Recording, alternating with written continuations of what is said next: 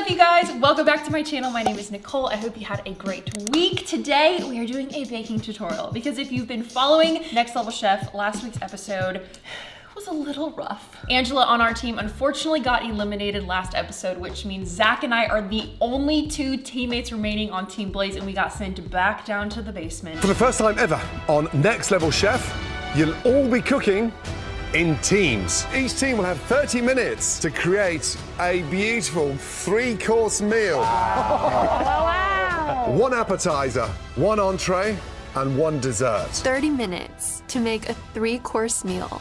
That is not a lot of time, and we have one less chef than everybody else.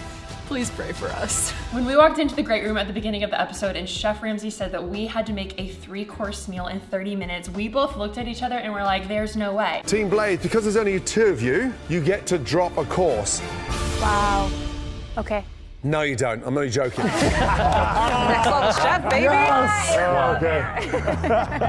And so honestly, my spirits were lifted when he said that because we were the only team that had two people, we got to drop a course. I'm like, well, that makes sense. Until he said, just kidding. The amount of stress I went through on this show. So Zach and I are in the basement. We have to do an appetizer, entree, and dessert with two people in 30 minutes. Going into this challenge, I really wanted to be in charge of desserts because that is where I feel most confident. But the concept I had in mind required me grabbing chocolate off the platform. And I knew being in the basement, there was a very low chance I would get chocolate because someone on the other two levels would likely grab it before me. And so literally y'all, when Zach and I got down into the basement, he gave me a recipe for his olive oil cake and I memorized it on the spot because I needed to have a backup in case I didn't grab what I needed on the platform. Yeah, what's your, do you have your recipe for the olive oil cake? Is that something that I can memorize quickly? One cup of olive oil, One, okay. Two eggs, three.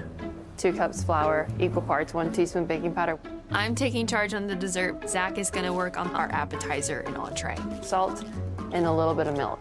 I've never had olive oil cake, but I'm gonna bake it today, and it's gonna be great. I'm so glad I did that because there was nothing for desserts but fruit on the platform. So I grabbed a bunch of those because really all the main ingredients in this olive oil cake recipe were available to me in the stable pantry that I would have access to regardless of what came down on the platform. So it really was the perfect recipe to do for this challenge. So that's what we're gonna make today. I'm gonna stop talking and get started on the cake and I'll share more stories as we go through this baking tutorial. If you're excited to learn about how to make this cake, give this video a big thumbs up. And if you're not already, please hit that subscribe button because I post new videos on this channel every single weekend. And I also post YouTube shorts and I don't want you to miss any of them. All right, let's go.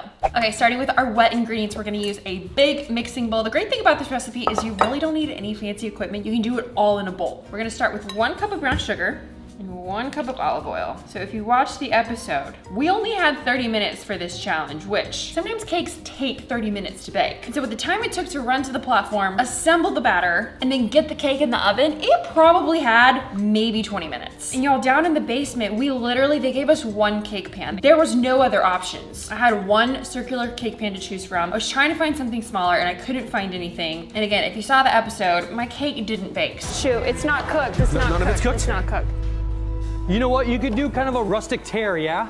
Take out sections that is cooked. Okay, anything that's cooked, the bottom pieces, anything that's brown and lovely right there. More bread pudding, it's not exactly what we wanted, but we gotta make it happen. There were four minutes left until the platform arrived, and I pulled my cake from the oven, and it's just straight batter. Like, I knew in that moment there was no way this cake was going to be done. And at that point, there's nothing else you can do, because if I don't plate a dessert, I'm done. My heart sunk when I took that cake out of the oven. And then Chef Blais literally told me to start ripping it up. He was like, take the pieces out that are cooked, get them in a skillet, we'll throw it in with some butter, get them nice and toasty and crispy, and we'll just pivot our concept to being more of a deconstructed cake crumble with different fruit elements on the side. Obviously not super ideal. I really wanted to serve a whole slice of cake, but again, there was nothing I can do. In that moment, I literally just panicked. I don't even remember what happened because I feel like I just blacked out. I have never felt more frantic in my whole life trying to construct that plate because I had my macerated blueberries, I had the strawberries, I had the mint leaves, I had the lemon curd, and then just this like pile of cake crumble. This is awful. This is literally the worst day of my life. And I just did not feel good about putting that on the platform. And on top of that, I'm trying to help Zach and make sure that our appetizer and entree are also beautiful and perfect and worthy of being tasted by Chef Gordon Ramsay. So all that to say, I was really stressed. And they didn't show this part. When I finally put my plate on the platform, I just cried. I literally just cried. Chef Blais and Zach gave me a hug and I I was so sad. Because I knew in that moment, the only way to guarantee my immunity is if we win top dish. Because if we don't, I'm going to elimination. There's only two people left on our team, and one, they're not gonna send Zach. He's amazing. But two, even if they did by some random occurrence of events, I would still go because he still has an immunity pin and he would send me. So things were just not looking good for me, and I'd fully prepared myself and expected for this episode to be my last. I just thought there is no way we can win Best Dish given the dessert I just put on this platform. The whole season I had looked forward to baking. I was really hoping we would get some form of a baking challenge because that's like the one area I felt confident in and honestly felt like I had a leg up against the other contestants. And I kept thinking, man, if I just get a chance to bake and do what I'm good at, that could go really well for me. And so I was so devastated that the one chance I did get to bake, it went so horribly wrong. It had nothing to do with the fact that I'm a bad baker. It literally had everything to do with the fact that time got the best of us and we did not have enough time to let the cake bake. And there's literally nothing I can do about that. So the whole thing was just so discouraging. And I got back on that elevator feeling so defeated. And again, literally thought that this was gonna be my last episode. Heading to dessert. This is a brown butter and olive oil crumble. And we say crumbled, it, it literally is crumbled. Did something happen here?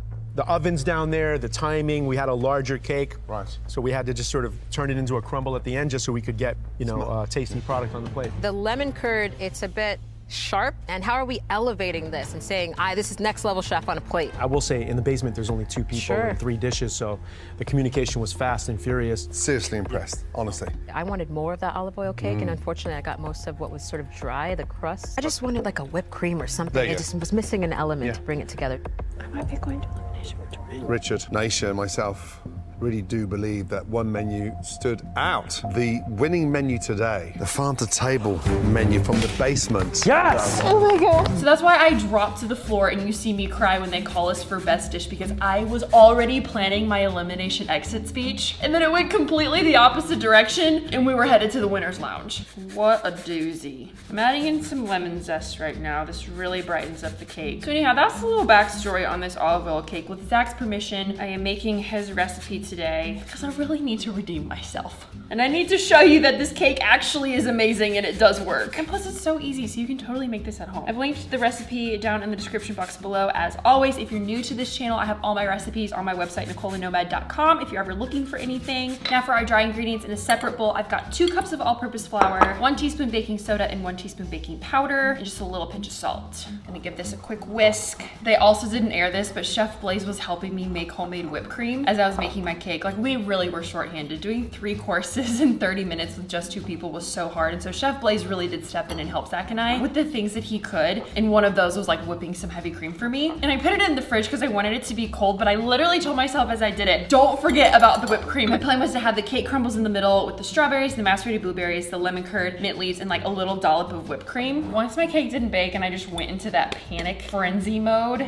I literally lost all ability to think or function like a normal human being. And I left the whipped cream in the refrigerator. And so that's why when they tasted it, they said, I feel like it's missing an element of like a whipped cream. I straight up just forgot. Yay me. Another thing that they didn't air that I was kind of bummed about was during the tasting, first thing Chef Ramsay said after he acknowledged the crumble and, and said something about the fact that it looked like something happened, he tasted it and he said, I feel like you're teasing me. The flavors are actually really good. He's like, I just want more of it. He's like, I feel like you're just teasing me with like a little crumble on this plate and I want a whole slice. And they didn't air that, but y'all, he liked the cake. Is what I'm saying. I'm not a bad baker. Just didn't work out for me that time. Alrighty, now time to go into our pan. I've just cut a little circle of parchment paper and I'm putting it in the bottom of this cake pan so that it comes out nice and easy. I think just to be safe, I'm gonna spray this a little bit too just so everything comes out good. Comment down below if you've been watching the show and what your favorite episode is so far. I'm super curious to hear. Just gonna get this in our pan. Okay, now this is gonna go into the oven at 350 for about 20 to 30 minutes, depending on your cake pan size. You just wanna watch it. As soon as the toothpick comes out clean, she's good to go. All right, our little olive oil cake is out of the oven. I ended up changing it to a half sheet pan because I kind of got PTSD from the episode and using that circle pan. And it actually turned out really great. Nice and golden brown and beautiful. I've got my little piece out here. Today, I think I'm just gonna use strawberries as decor, little plating element. Oh, you know what this reminds me of? Ooey gooey butter cake. I think we need to do that as a tutorial sometime soon because that is one of my favorite desserts. Now we're not gonna forget the whipped cream this time. Oh, this looks so good, you guys. Bon appetit. All right, now it is time for the moment of truth. Let's taste this cake as it is properly baked. Put a little whipped cream on there. Oh my gosh. Dang it! This makes me even more sad that the mentors didn't get a taste of the fully baked, correct presentation of this cake because wow. Oh, this is so good. It's so moist and light and fresh. The citrus, oh wow. I forgot to show this part in the video, but you also add a cup of milk into this batter and that's what keeps it really moist and light and fluffy. Oh my gosh, okay, wow. Well, you need to try this and let me know what you think. Again, the recipe is down in the description box below. I hope you loved this tutorial, learning how to make this olive oil cake and hearing some behind the scenes stories of the episode. Comment down below, let me know if you've been watching and what episode so far has been your favorite. Hey, if this video made you smile and you enjoyed watching it, it would mean so much to me if you gave it a big thumbs up. And before you go, if you're not already, please hit that subscribe button because I want you to be a part of the best family ever. Have a great rest of your weekend and we'll see you next time. Bye.